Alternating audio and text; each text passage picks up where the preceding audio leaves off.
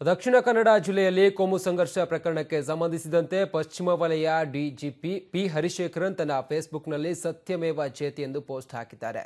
ಕೋಮು ಸಂಘರ್ಷ ಸಂಬಂಧ ಡಿಜಿಪಿ ಎತ್ತಂಗಡಿ ಎಂಬ ಗಾಳಿ ಸುದ್ದಿ ಹರಿದಾಡ್ತಾ ಇತ್ತು. ಹೀಗಾಗಿ ಗಾಳಿ ಸುದ್ದಿಗೆ ಕಿವಿಗೊಡಬೇಡಿ ಎಂದು ಫೇಸ್ಬುಕ್ನಲ್ಲಿ ಮನವಿಯನ್ನು ಮಾಡಿದ್ದಾರೆ. ಆ ಜಿಲ್ಲೆಯಲ್ಲಿ ಸಂಭವಿಸಿದ ಕೋಮು ಸಂಘಟನೆಗಳು, ಘಟನೆಗಳ ಸಂಬಂಧ ಸಾಧ್ಯವಿರುವ ಎಲ್ಲ ಕಾನೂನು ಕ್ರಮಗಳನ್ನು ಕೈಗೊಳ್ಳಲಾಗಿದೆ. ಯಾವುದೇ ಗಾಳಿ ಸುದ್ದಿಗೆ ಕಿವಿಗೂಡಬೇಡಿ, ಯಾವುದೇ ಗಾಳಿ ಸುದ್ದಿಗೆಯನ್ನ ಕಿವಿಗೆ ಹಾಕ್ಕೊಳ್ಬೇಡಿ ಎಂದು ಡಿಜಿಪಿ ಹರಿಶೇಖರನ್ ತಿಳಿಸಿದ್ದಾರೆ.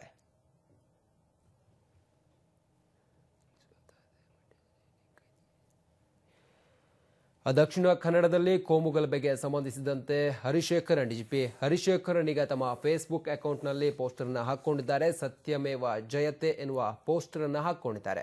ಅದರಂತೆ ಗಾಳಿ ಸುದ್ದಿಗಳಿಗೆ ಯಾರು ಕಿವಿ ಕೊಡಬೇಡಿ. ಕಾನೂನಿಗೆ ಕಟ್ಟುನಿಟ್ಟಾಗಿ ಎಲ್ಲರೂ ಕೂಡ ಪಾಲಿಸಲೇಬೇಕಾಗ್ತದೆ. ದಕ್ಷಿಣ ಕನ್ನಡದಲ್ಲಿ ಕೋಮುಗಲಭೆ ಹೊತ್ತಿ ಉರಿತಾ ಇತ್ತು. ಸಾಕಷ್ಟು ಜನರು ಕೂಡ ಫೇಸ್ಬುಕ್ ಆಗಿರ್ಬೋದು ಅಥವಾ ವಾಟ್ಸಪ್ ಸಾಮಾಜಿಕ ಜಾಲತಾಣಗಳಲ್ಲಿ ಸಾಕಷ್ಟು ಒಂದು ವಿಚಾರಗಳನ್ನು ಹರಿಬಿಡ್ತಾ ಇದ್ರು. ಸಮಾಜ ಘಾತುಕ ಚಟುವಟಿಕೆಗಳ ಕುರಿತಾಗಿ ಹರಿಬಿಡ್ತಾ ಇದ್ರು. ಇದಕ್ಕೆ ಈಗ ಹರಿಶೇಖರನ್ ಫೇಸ್ಬುಕ್ನಲ್ಲಿ ಪ್ರತಿಕ್ರಿಯೆ ನೀಡಿದ್ದಾರೆ. ಈ ಕುರಿತು ಮತ್ತಷ್ಟು ಮಾಹಿತಿನ ಕೊಡಲಿಕ್ಕೆ ನಮ್ಮ ಮಂಗಳೂರಿನ ಪ್ರತಿನಿಧಿ ಮೊಹಮ್ಮದ್ ಇರ್ಷಾದ್ ಈಗ ದೂರವಾಣಿ ಸಂಪರ್ಕದಲ್ಲಿ ಜಾಯ್ನ್ ಆಗ್ತಿದ್ದಾರೆ. ಇರ್ಷಾದ್ ಕೋಮು ಗಲಭೆಯ, ದಕ್ಷಿಣ ಕನ್ನಡದ ಒಂದು ಕೋಮು ಗಲಭೆಯ ಸಮ್ಮತವಾಗಿ ಇದೀಗ ಹರಿಶೇಖರನ್ ಫೇಸ್ಬುಕ್ನಲ್ಲಿ ಏನು ಕಮೆಂಟ್ ಅನ್ನು ಹಾಕೊಂಡಿದ್ದಾರೆ ಇರ್ಷಾದ್. ರಂಜಿತ್, ದಕ್ಷಿಣ ಕನ್ನಡ ಜಿಲ್ಲೆಯ ಬಂಟ್ವಾಳ ತಾಲೂಕಿನಲ್ಲಿ ಹಾಗೂ ಕಲ್ಲಡ್ಕ ಭಾಗದಲ್ಲಿ ಕೆಲವು ದಿನಗಳ ಹಿಂದೆ ಆ, ಇಶ್ಯೂಸ್ ನಡೆದಿದ್ವು.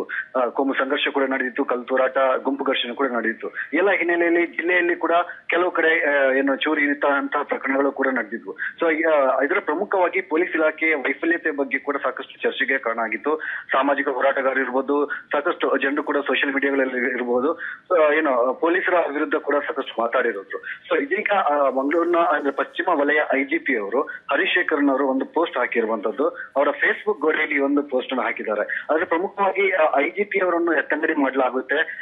ಸಿಎಂ ಈ ನಿರ್ಧಾರವನ್ನು ಕೈಗೊಂಡಿದ್ದಾರೆ ಎಂಬ ಮಾತು ಕೂಡ ಕೇಳಿ ಬಂದಿತ್ತು. ಸೊ ಇವಾಗ ಇವರು ಫೇಸ್ಬುಕ್ ಅಲ್ಲಿ ಹೇಳ್ಕೊಂಡಿರುವಂತದ್ದು, ಯಾವುದೇ ರೀತಿಯಲ್ಲಿ ಗಾಳಿ ಸುದ್ದಿ ಏನಿದೆ, ಅದಕ್ಕೆ ಕಿವಿ ಕೊಡಬೇಡಿ.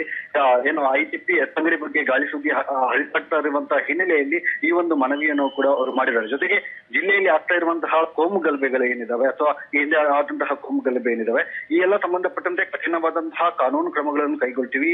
ಸಾಧ್ಯ ಆಗಿರುವಂತಹ ಎಲ್ಲಾ ಕಾನೂನು ಕ್ರಮಗಳ ಕ್ರಮಗಳನ್ನು ಈಗಾಗಲೇ ಕೈಗೊಳ್ಳಲಾಗಿದೆ. ಯಾವುದೇ ರೀತಿಯಲ್ಲಿ ವದಂತಿಗಳಿಗೆ ಕಿವಿ ಕೊಡಬೇಡಿ ಒಂದು ಸುಳ್ಳು ಸುದ್ದಿಗಳನ್ನು ಕಿಡಿಕೇಡಿಗಳು ಈ ರೀತಿ ಹಬ್ಬಿ ಹಬ್ತಾ ಇದ್ದಾರೆ. ಆದ್ರೆ ಅದಕ್ಕೆ ಯಾವುದಕ್ಕೂ ಕೂಡ ನೀವು ಕಿವಿ ಕೊಡಬೇಡಿ ಎಂಬ ಮನವಿಯನ್ನು ಕೊಟ್ಟು ಅವರು ಫೇಸ್ಬುಕ್ ಮುಖಾಂತರ ಮಾಡ್ಕೊಂಡಿದ್ದಾರೆ. ರಂಜಿತ್. ಓಕೆ ಧನ್ಯವಾದ ಮಾಹಿತಿಗಾಗಿ.